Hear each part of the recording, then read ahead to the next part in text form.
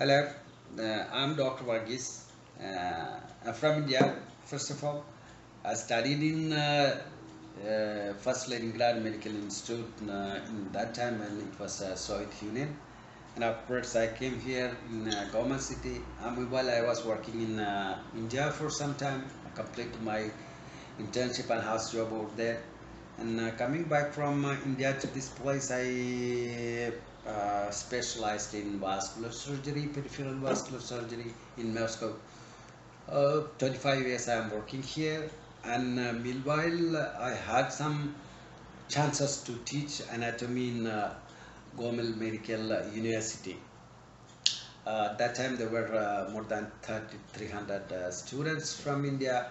They completed, most of them are living in India, well working and closed the MCI examinations.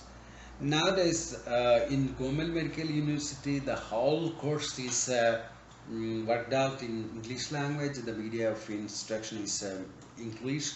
Now of course they have to teach a little bit uh, Russian as per they should uh, talk with uh, the patients uh, in uh, clinical uh, practices yeah and uh, nowadays they are uh, focused in such a way their studies so that the people the students we, who are completing our university can get through the MCI examinations so I think uh, education is uh, amped and uh, anybody who wants to come and uh, study in uh, or in any uh, universities of uh, Belarus, uh, you're welcome.